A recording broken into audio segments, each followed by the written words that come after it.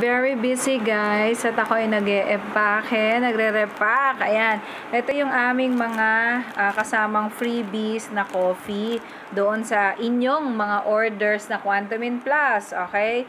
So, meron tayong calling card. Ayan, huwag nyo sayangin yan para in the event na hindi nyo po ako makontak or hindi nyo alam or nakalimutan ninyo kung ano po ang aking page, ang aking Facebook account, nandiyan din po ang aking number to call. Ito po ang ID ko, ID sa Quantumin Plus. Okay? And ito po ang aming address, YouTube ko, Facebook account. Alright? So, in the event na makalimutan nyo kung anong page kayo nag message, andyan naman ang aking number to call. Okay? And syempre, may thank you card. Alright?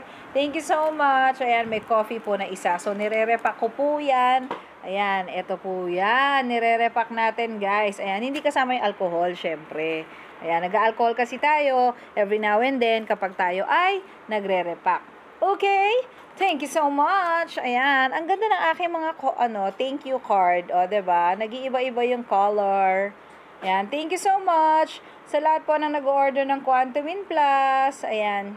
So, meron din tayong calling card and kasama yan sa ating coffee na ine-empake. Alright? Wala pong ibang kape ang ating Quantumin Plus kung hindi e-rich coffee lang guys ha. Kung may iba pa pong kape na kasama sila, so hindi po yan produkto ng ating Quantumin Plus. Alright?